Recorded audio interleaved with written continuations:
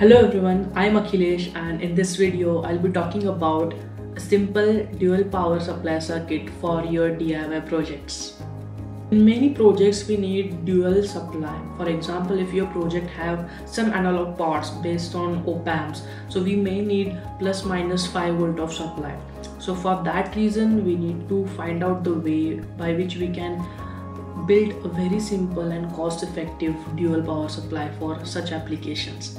So if we consider these are the batteries, 9 volt batteries which are widely available in the market, but these are only plus 9 volt and ground.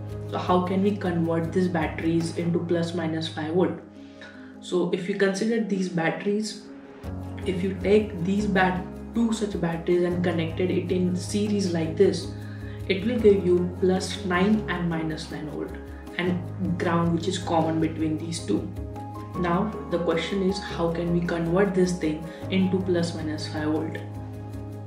To achieve this we have ICs 7805 and 7905 which are both 3 terminal voltage regulator ICs which have current capacity of 1.5 ampere so it's pretty suitable for most of the DIY electronics projects which requires dual power supply. 7805 is used as a positive voltage regulator and 7905 is used as a negative voltage regulator. So the combination of these two can be used to make a dual power supply. IC 7805 and 7905 are three terminal regulator ICs so it has three pins V in, V out and ground where V in can be from 5 volt to around 20 volts. I have tried bit in this range.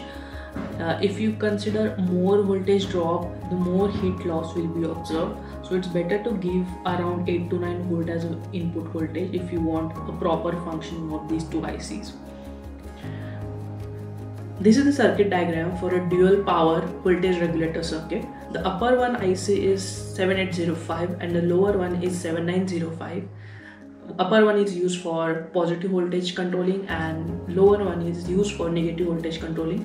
At the input side i have used two diodes which are nothing but protection diode. In case if you reverse the polarity of the battery it should stop the current flow in order to avoid the circuit damage there are few capacitors total four capacitors uh, which are used to reduce any AC ripple present in, in input as well as at output the 0.1 microfarad value of this capacitor will solve the purpose and at the output side you get the regulated 5 volt and minus 5 volt at, uh, with reference to ground.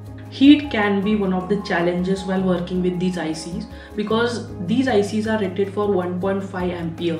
So if your circuit is drawing more than that, obviously these ICs are going to heat up.